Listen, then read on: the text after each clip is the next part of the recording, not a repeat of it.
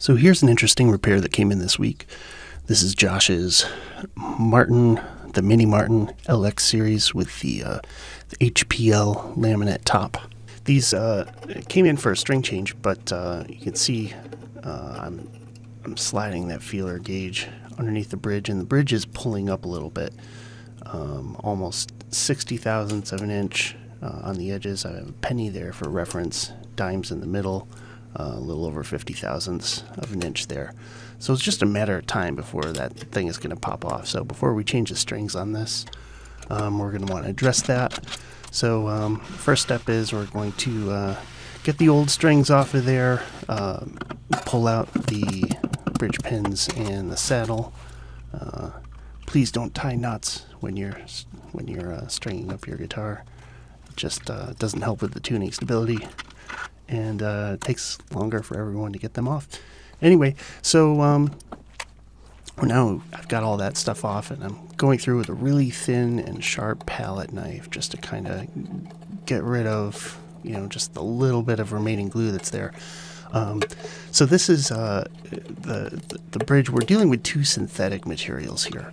Okay, um, the HPL high pressure laminate is um, what the body is made out of, the and the top and uh, the bridge is also synthetic. It's um, they call it micarta. It's a polymerized uh, material. Um, so they uh, both materials tend to have you know quite a bit of dimensional stability, but um, uh, in this case, uh, you could see they just really didn't use um, a lot of glue when they were putting it together.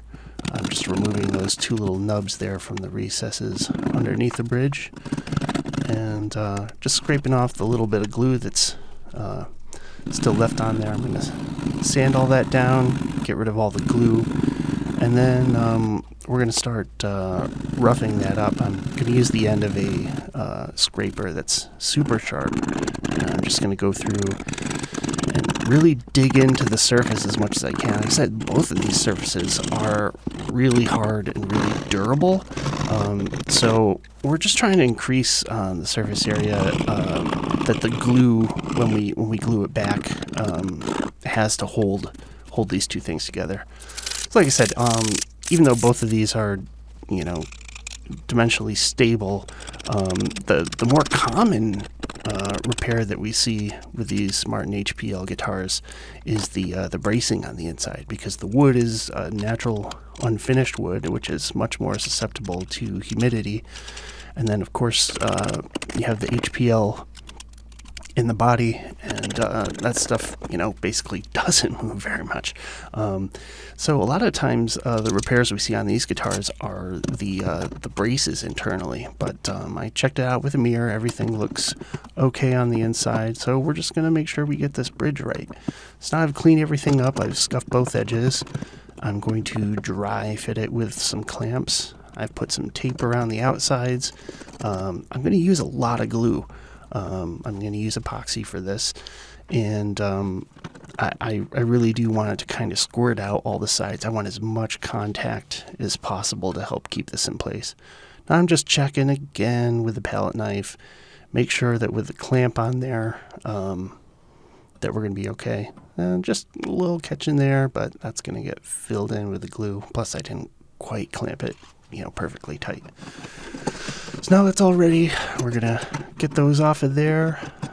Uh, have those three throat clamps, and those will tackle that for me. I'm to mix up some epoxy and uh, use that palette knife to just kind of go over it, spread it like uh, like you're frosting a cake, basically, um, both sides. We're to do the uh, the guitar top, and then we're also going to do the bottom side of the bridge. Um, I always keep that Q-tip there on the side um, as my indicator. Okay, um, so when I'm done with this, you know, I know I have about just under five minutes to really work with um, before this stuff really starts setting in. So I can go over there and I can grab uh, that Q-tip there and just kind of test it out on the cardboard, and I know about how hard uh, the rest of the epoxy material is. So I'm doing that. I'm using just two throwaway uh, bridge pins to uh, guide that into place, make sure everything's fine. We're going to start uh, getting them in there, increasing the pressure the outside. Uh, well, in the middle first, and then the outsides. Yeah, that's looking good. We're going to squeeze that, and uh, you can start to see kind of at the edges uh, some of that glue coming out. So I'm just going to grab uh, as much as I can. The epoxy actually cleans up really great on both of these surfaces because they are very much non-stick. Um, so after I get all that cleaned up, I can go ahead and remove my tape. And then we're going to, I mean, this will set in, you know, five minutes. It'll be tacky. In about an hour, it's probably good to go. We're going to leave it overnight just for extra measure. So uh, just get a little cleanup done here. And then uh, we'll come back the next morning and uh, just check it out. Everything looked good. And now I'm going through and I'm reaming the uh, bridge pin holes. Uh, that's a, uh, a reamer that's tapered to the exact taper of um, our bridge pins. So we know that's good. The other thing I'm checking out, and see, this is what I'm talking about as far as humidity goes, even though the neck is uh, like a laminated lumber as well, um, it is on the dry side, so all of those, uh, the headstock has shrunk slightly, and we're just going to tighten all that up.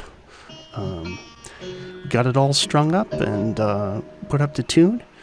And so it looks like it's holding the tension really well. We have no gaps all the way around, and uh, everything looks good.